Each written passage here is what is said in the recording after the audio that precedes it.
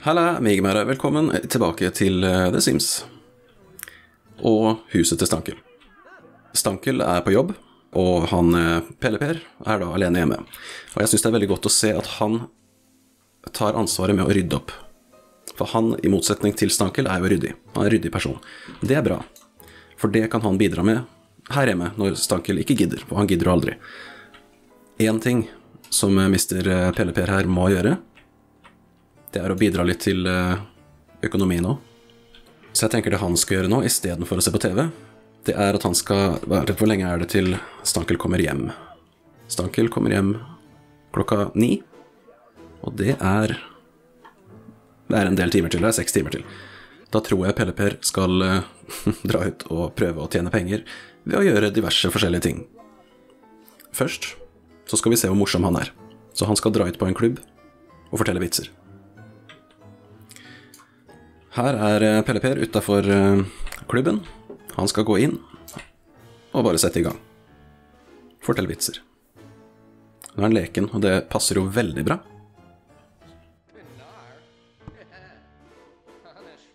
Så han har lyst til å høre på vits. Er det bra? Han Han likte det. Du er flink, eh, Pelle Per. Bra. Her kommer det flere, vet du. Jeg syns det er kjempebra. Men kan han få litt penger, da? Og det han trenger her.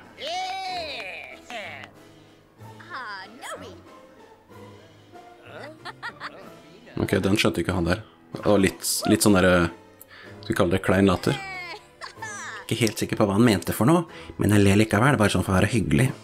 Er det han tenkte der, sånn. Altså, det sitter jo flere der borte. De vil heller gå og drikke, dem. Nei, der kommer han med hanekammen igjen, jo. Olav. Han likte ikke se der, ja. Han likte ikke vitsen til eh, Til Pelle-Per, og dessuten så er han ond. Ok, vet du hva? Pelle-Per, det her trenger ikke du finne deg i. Ta og kjeft på han der hvis du kan. Fornærm ham. Det er sikkert morsomt å gjøre i mikrofonen, vet du. Og der, hun, hun syns det er kult uansett, du. Sånn, nå kan du slutte med det, så fornærmer du han der. Da kall, si at hanekammen hans er stygg, eller noe sånt.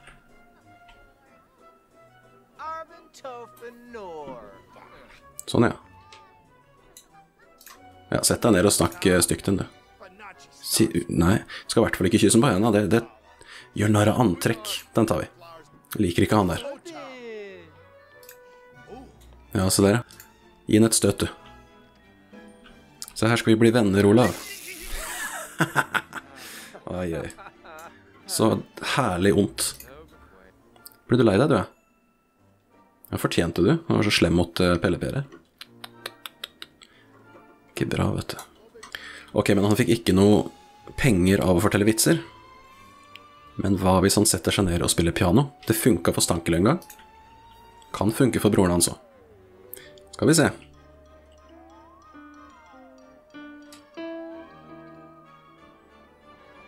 Ja Jeg hører eh, potensialet her.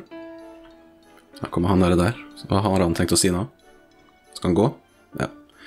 Gå ut med nesa sky og tro at du er noe, du. Det er greit. Vil ikke ha det her uansett. Tette, grønne hanekam-type.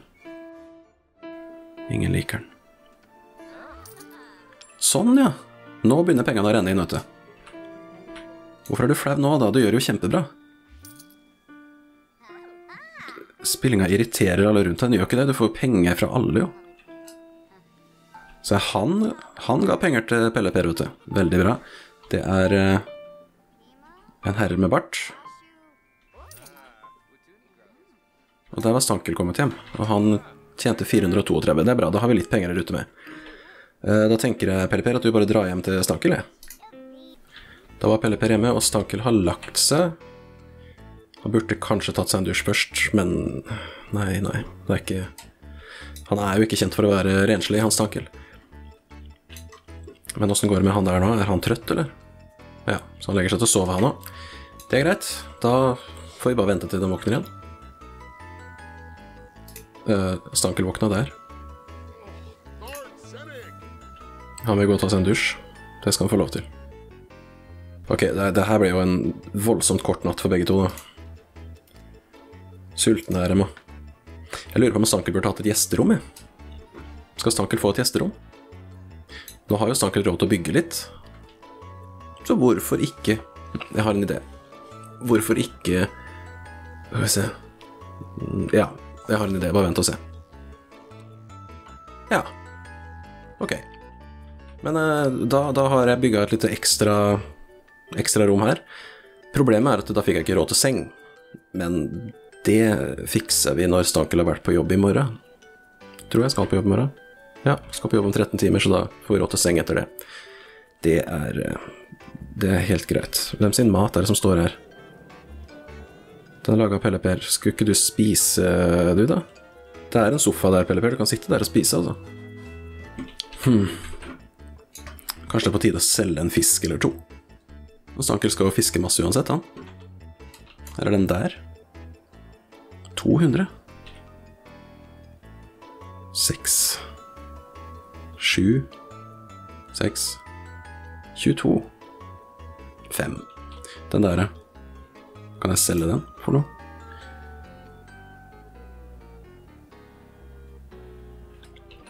Da får jeg deg maten, så kan du gå og legge deg igjen. Så vet du hva, egentlig så kan du skru av TV-en sånn at stanken ikke våkner.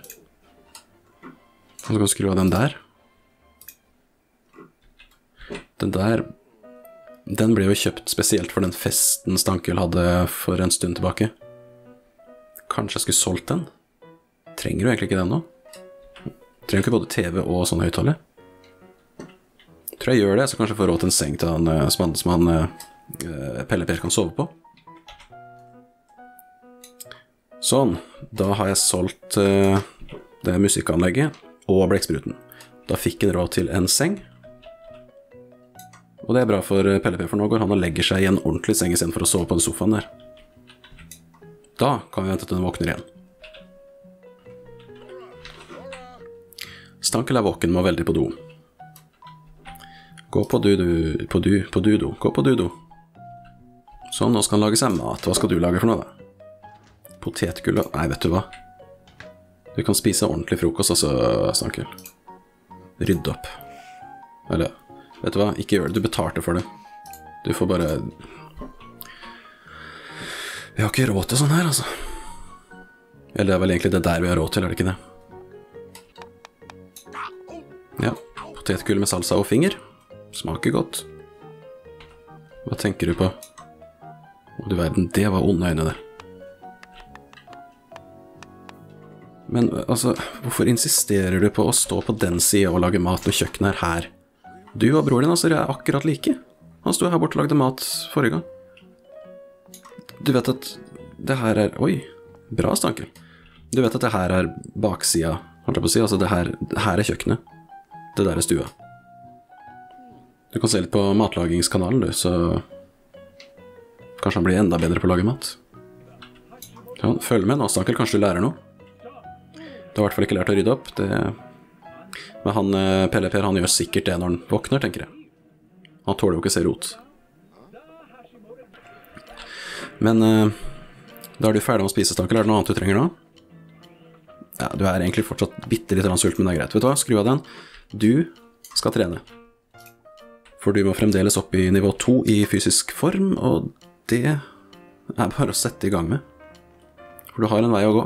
Altså, eller du har en vei å løpe, er vel mer riktig å si. Se, der er Pelle Per våken nå. Og det første han gjør, er å rydde opp etter Stankel. Hva var det jeg sa? Det er bra, det. Og så kan du kle på deg litt etterpå, det kan du ikke det? Sånn. Bra jobba. Unnskyld meg, men sa jeg at du var ferdig? Nå skal du få lov til å presse grensene litt, uh, Stankel. Det er kanskje en dårlig idé. Skal vi se Fire timer til du skal på jobb, Sankel. Du klarer de greiene her? Ja da, bare, bare klin til. Det verste er at du får litt vondt. Ufattelig utslitt. Uh, ja, men du må du, Jeg vet du er lat, men du må opp i fysisk form, så det er ikke noe, det er ikke noe bønn. Får ikke lov til å stoppe. Jeg har jo han eh, Pelle Per som eh, presser deg litt, vet du. Det er bra, det. Du er der snart, stakkel. Det er ja, 15 igjen, så er, du, så er du ferdig. Kjør på. Sånn. Der, ja. Flott, stakkar. Da skal du få lov til å roe deg ned. Ok, eh, hvor lenge er det igjen til du skal på jobb, da? To timer. Da skal Hvordan i all verden ble ikke du kjempesvett av de greiene der? Ha, ja ja, ok, du får gå og spise litt. Eplemos. Spis eplemos. Det er, det er så dypt vi har sunket her, altså. De må klare seg på eplemos. Altså, dere har jo, dere har jo penger igjen, da. Men ja, ja. Skal vi se, Stankel, du har det ikke særlig bra nå. Du er flag. Du er sint på grunn av flagg. Blush. Meshaloob. Blush. Det betyr æsj. Telefonselgere. Æsj.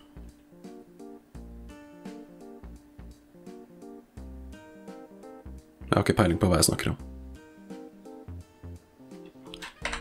Skal vi se, Stankel. Fem minutter til du skal på jobb. Det passer jo bra. Åssen er det med Ja, du har jo egentlig ganske greit. Sånn. Kom deg på jobb. Ok, Pelleper, du rydder opp. Det er kjempeflott. Kanskje vi Kanskje han Pelleper skal få lov til å bo der litt mer permanent? Stankel er på jobb. Hva med deg, Pelleper? Skal du prøve å gå ut og tjene litt mer penger på pianospillinga di, eller? Vet du hva? Skru av TV-en. Det skal du. Du skal ut og tjene mer penger på piano. Sånn, ja. Bare, bare sett deg, du. Kom igjen. Så kommer det folk etter hvert, og jeg vet at det er ikke noen her nå. Bortsett fra han usynlige mannen som sitter der sånn. Men han er ikke der, så kom med en gang. Vi ser at du kommer for å spille, vet du. Du trekker publikum allerede, du, Pelle Per. Du, du har fått et navn. Du har et navn, men du har fått eh, Du begynner å bli kjent. Mm. Bare fortsett du, Pelle Per, for jo bedre du blir, jo mer penger får du. Det er bare sånn det funker her i verden. Er du bedre på noe, så får du mer penger for det. Stort sett. Man setter seg ned på piano, begynner å spille, og da kommer de, vet du. Hmm. Herlig. Og så gjør de litt sånn pushups og greier. Det, det gjør hun der. Hvem er det? Dina Caliente. Og dette er Elisa Pancakes. Og dette er Jeffrey Ja, det er han, ja. Han, han Barton. Han tenker på Han tenker på hun der eh, Han tenker på hun. Du, ikke prøv deg på hun der, Barton. For det er jo Det er jo hun som han eh, Pelle Per fikk et litt sånn Han hadde en liten greie med. Skal du gå og snakke med Pelle Per? Har du lyst til det, eller? Skal vi bare gå rett på den? Ja, det er jo en koselig måte å gjenoppta kontakta på, det. Sånn, gjør det nå. Det er ingen som hører på deg uansett. Kom tilbake. Hei, hei. Det gikk ikke så bra, gjorde det det? Men Å, hun tulla med den. Så bra. Tilby Rose. For moro skyld, vi bare tar opp igjen den kontakten. Hun ville ikke ha sist. Men kanskje hun vil ha en nå. Vi må først bare høre på at hun skravler litt. Der, ja. Der vil hun ha. Kjempebra. Bar Hørte du det? Barten. Det tror jeg er det mest menneskelige ordet i Sims. Barten. Det må jo være bartender. Mm, Flørt litt med henne, du.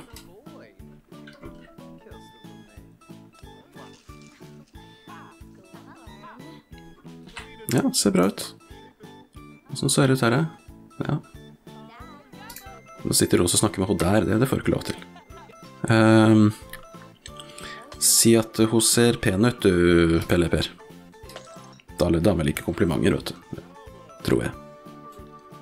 Hva skal du nå? Du skal rydde opp her òg, du. Og så skal du ha det. Ok. Ja da. Det går så fint. Så hvor er det du skal kaste? Det er søppelkasse rett der.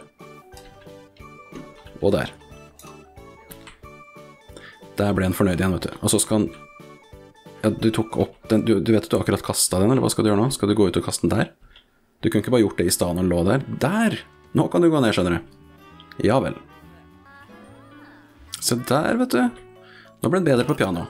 Nivå to i pianoferdigheter. Da blir det mer penger. Nå kan Pelle Per hylle pianosonater i samtale med andre simmer. Han kan også søke på pianospill med datamaskin og nyte klassisk musikk fra et stereoanlegg. Jeg visste ikke at man måtte komme til nivå to i pianoferdigheter for å gjøre det der, men ja, ja, ok, hva vet vel jeg, jeg har aldri spilt piano før, så jeg har ikke peiling. Du er sulten, du. Vet du hva, du kan få lov til å dra hjem og spise. Så her, vet du, Pelle Per, nå kan du bruke litt av de eh, ærlig tjente pengene dine og lage litt mat.